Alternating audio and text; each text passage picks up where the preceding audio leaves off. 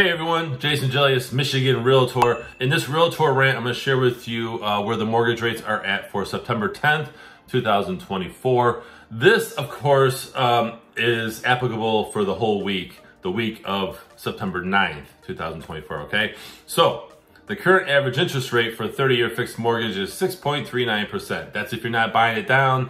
Um, that's if you're not, you know, applying money towards paying that rate down. So 6.39% for 30-year fixed. Uh, that, of course, decreased from last last week, actually. So if you're looking to refinance, a 30-year fixed interest rate is about 6.34%. So if you're looking to refinance, the rate is a little bit less. Now, you have the 15-year fixed rate interest, fixed rate mortgage, which is around 5.75%. You may be asking, why is the rate lower on a 15-year fixed rate mortgage? Well, because it's a better option. It just is. Okay, the rate is typically lower, but your payment is higher because you are doing a 15-year term versus a 30-year. So th this is, in a nutshell, where the rates are for the week of September 9th, 2024.